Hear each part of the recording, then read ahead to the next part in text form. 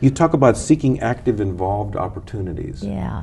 Well, see, the involvement or engagement or things that give you challenge really keep you young. I mean, if you want to kind of look back at the stress research or the, the research about peak performers, you got to have something that you're committed to, something that you're passionate and you care about. You know, you got to love mm-hmm. something. Mm-hmm. Then you got to have something that has challenge, and that's where it stretches you.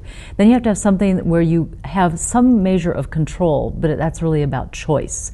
You know, when I say the involvement, it's like, can you make a difference, even if it's like in in this area? And the th- and the last one is about the social support stuff, which is about with people. So it's important. You you can work on a hotline, you can be at home, you can you know, do all kinds of things, but but something where you're engaged because that's what's going to keep you going. I like your idea about the community or mm-hmm. the connection because. Mm-hmm. As we get older, unfortunately, we lose people. Yeah, but and now so we got the internet. Now we yeah. have different ways to connect. We have yeah. different, but but it's a, it's a different kind of closeness or intimacy that's created that way. It's not like walking down to the corner store. Um, you also, and this is related, uh-huh. uh, nurture friendships and participate in the community itself. Yeah. Well, that thing you were just talking it's about. Thing, yeah, right, Steve, it's, it's like we do lose people, and so we have to re risk meeting new people and re risk kind of opening up to new people because they die, they go out of our lives, they move overseas, you know. Mm. How and dare they? I know, but, but, but a lot of people, you know, you kind of get down and you make your list and it gets smaller. And I think one of the challenges of this second middle age is really to say, how can I open up and reconnect more and again? Now, I know this is a big topic, but um, you also had listed some of the questions people can ask yeah. themselves to reinvent themselves, and I only listed one. What would you do if you knew you couldn't fail? Mm-hmm. Can people reinvent themselves on purpose, sort of like I'm going to Absolutely. You know, so tell us about that. That's, well, such, that's such a liberating concept to be, think you could you could reinvent yourself. Well, I mean, it's a basis of psychology. I mean, uh, are you who you are that you were born with, or you and I have both worked with people who really decide to become different, and it takes risk to do that. It takes kind of a determination, but you know, there are limitations. You know, and certain things about size and physical, mm-hmm. and you know, if you're not six foot tall, you know, are you going to be a basketball player? But but is there some other way that you can you know, push yourself or people usually don't want to do things because they're afraid of making mistakes. And so after the, the blessing of the second middle age is like, what have you got to lose? What are they going to do to you? You know, you're, you're kind of, so I, I see people making great adventurous kind of leaps. Well, that's fantastic. Yeah. So um, I'm going to change just a little topic here. I know that um, one of the things you're interested in is energy optimization mm-hmm. and revitalizing the workplace. Can you? I know these are all big topics, yeah, but yeah. share a little bit about that. Well, I think one of, one of the things that's getting really interesting is we're, we're kind of at a very interesting cross point where two trends are crossing. One is the demand for skilled labor is going up, and the oops, I've got them going. Hang on, I think I've got them going. They're they're right for me. They're right for me. Okay, the the demand for labor, let's see, the demand for skilled labor is going up, and the people to fill it are is going down. Okay. Because so, and actually in 2005 is when those things cross. So we're going to have this is good news.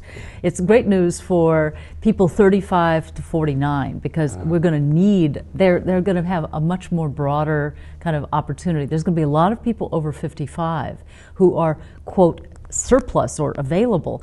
What's going to be the challenge is are the work is the workforce going to find ways to use what they know how to do? So the reinvigoration has to do with what if you could. I, I mean, we're being approached by organizations that say we've got these really smart people. They're about to retire. My gosh, they, they know things that we don't, that we need that we need, and we don't know how to get it out of their mind. So if we could if we could get two more years out of them, if we could reinvigorate them and make them want to stay and want to mentor so the company, new people. I want to change yeah. just a little bit. Companies are really saying that to you because so many of my clients are yeah. saying, "I'm old. Who wants? There's an age bias." No. You're hearing the opposite. No, huh? I'm, I, I'm actually uh, working on two proposals right now for very large organizations that are trying to figure out. One has 400 engineers that are moving, they're all boomers, and they're moving into this, you know, acute retirement phase. And they're mm-hmm. going, my God, we haven't, you know, captured the knowledge, we haven't made use of them as mentors, and they have wisdom But, but to keep those people, they don't want to work so hard. Mm-hmm. and so some of them, you know, have the idea of let's retire and get out of this. What if you could work three days a week? What if you could, what if you could have a flexibility? What if you could have a phased job retirement? Share, maybe. Job share. I mean, job share is kind of one way that, we, that we've approached, but I think organizations are going to have to get much more flexible. About the number. Very quickly. And I know, Stan, you know, I went to Stanford. Yeah. I know Stanford University yeah. has all these odd, yeah. like 40%, 62%. Why I mean, not? Why, you know, why not? But, but see, corporations, it's only because they don't want to, you know, in some ways HR has said, you know, this is a full time equivalent. 40, FTEs yeah. is how it is.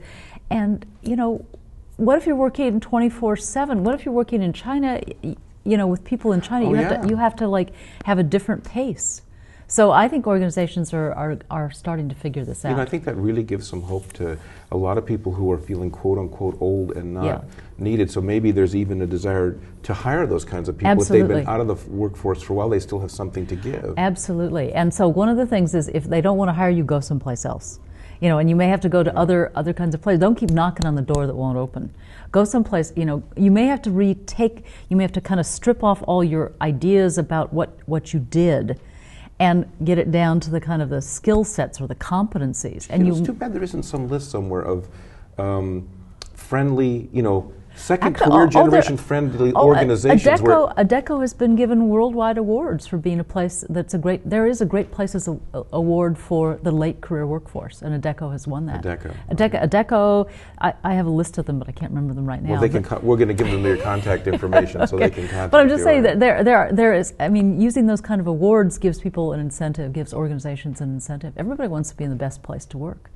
So um, we have another graphic. I thought we would uh, Mm-hmm. Sure. talk about work trends. Yep. Um, and that um, there are a number of uh, things that are happening. Either they're happening now, or you foresee them happening in the future. The trends in the workplace. Well, you don't have to be kind of a rocket scientist. You can kind of look at the demographics and sort of like, oh, it's going to. So, um, and, and you've already started to touch on them, so I think it fits together. The uh, and the audience can and see this while we're Mm-hmm. discussing it.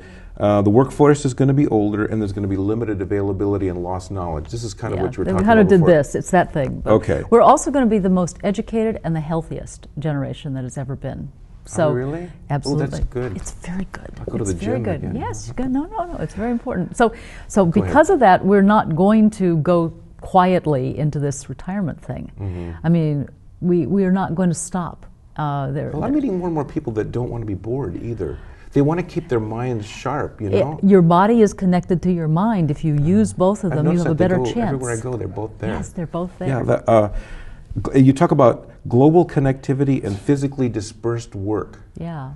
So- it was sort of, I was starting to talk about with China. It's like Okay. we're, we're talking about outsourcing, but what could what could people here, what could knowledge workers do in the U.S. that could be exported?